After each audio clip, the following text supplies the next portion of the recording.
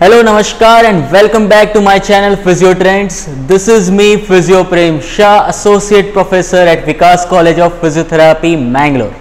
And friends, in today's video, I am going to show you all suspension therapy for lower limb. I am going to show you suspension therapy for hip joint, abduction, adduction, as well as flexion and extension of the knee joint.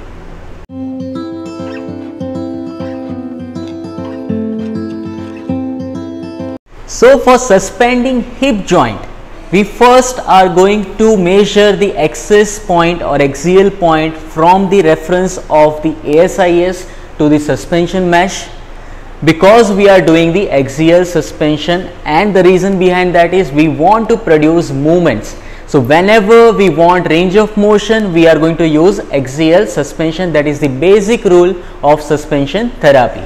So this is the exact point where I have got above the ASIS for this particular side of the limb where I am going to put both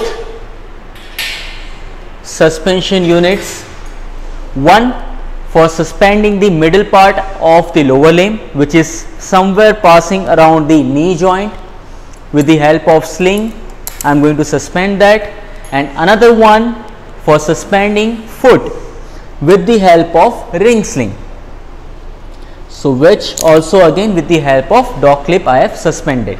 Now in this one problem is that when you are trying to perform adduction movement opposite side of the limb is going to restrict the movement of adduction. So to avoid that we ask patient to keep his foot down or out of the couch so that easily patient can perform adduction as well as abduction in full range of motion.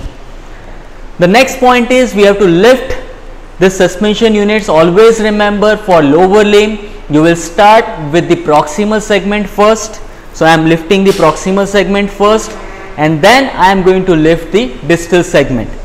Once the required height is achieved we can assist patient for performing adduction and abduction or patient also can perform this movement actively which is adduction and abduction. So this is how we can get adduction, abduction in supine lying position using two suspension units. And once the adduction, abduction is done and you want to remove suspension, for removing first we will initiate from the distal component and then we will go for the proximal Always component. remember when you want to lift proximal segment first and when you want to put it down distal segment first. Now for flexion and extension of the hip joint again patient will be in side lying position and reference point for the line of axis will be greater trochanter. We are going to use a rope to start from greater trochanter to the suspension mesh. This is the point I have got for suspending the unit. Just like the abduction and adduction, we have to suspend this both suspension units over that point. One for the middle part of the lower limb which is somewhere around the knee joint where the COG lies for this lower limb.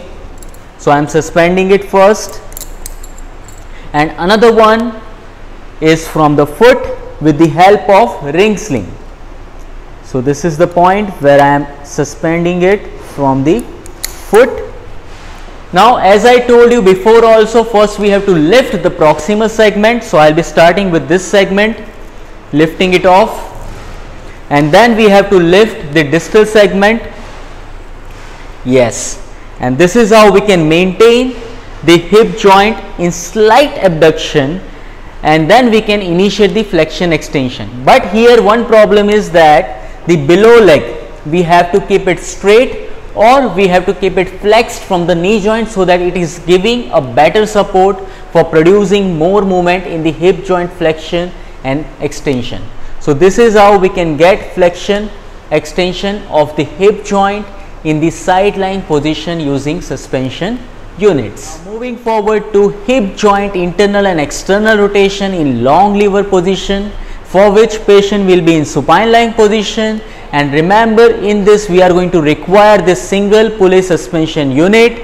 There is no need of axial or vertical suspension. Simply we have to put patient's limb on the sling in such a way that foot is outside of the sling.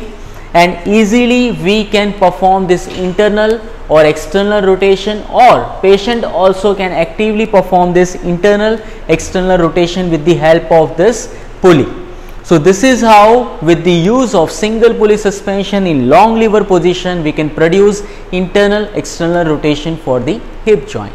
Now, the next joint for lower limb suspension therapy is knee joint and for knee joint flexion extension patient position is in side lying position with a pillow in between two legs as well as we are going to suspend the suspension unit exactly above the knee joint line which is for the axial suspension. So, this is the point where I have got for the axial suspension I am going to suspend this suspension unit. Then with the help of ring sling put on the foot I am going to apply this dog clip over it and then lifting off this suspension unit up and then we can easily ask patient to perform flexion and extension of the knee joint and also actively patient can perform this flexion extension of knee joint in this particular position.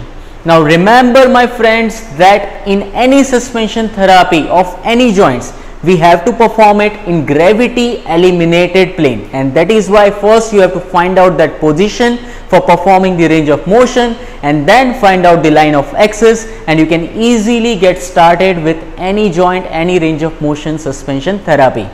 Now, if you have any doubts, you can write me in the comment section as well as anything you want to know more about suspension therapy, please write me on my Insta DM or my Facebook page or you can also connect with me on my LinkedIn profile and if you like this information, please like, share and subscribe to my channel Physio Trendz for more and more videos like this.